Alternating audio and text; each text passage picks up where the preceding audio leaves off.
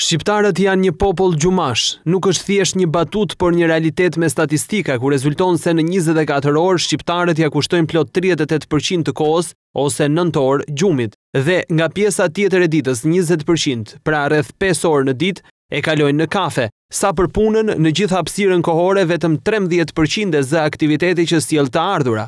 Për sa i përket ndarjes mes femrave dhe meshkujve, burrat janë ata që punojnë më pak, por janë më të paguar. Pavarësisht përpjekjeve, burrat vazhdojnë të jenë pakicë kur bie fjala për punët e shtëpisë, pasi ajo që ndodh brenda katër mureve vazhdon të mbetet detyrë e grave. Në këtë pikë nëntëdhjetë e pesë për qind e femrave të moshës pesëmbëdhjetë deri në gjashtëdhjetë e katër vjeç dhe vetëm tridhjetë e shtatë për qind e meshkujve të kësaj moshe janë të përfshirë në punët e shtëpisë. si kujdesi për fëmijët apo përgatitja e ushqimit. Këto janë në fakt edhe të dhënat e para statistikore të bëra në Shqipëri se si shfrytëzohet koha e lirë.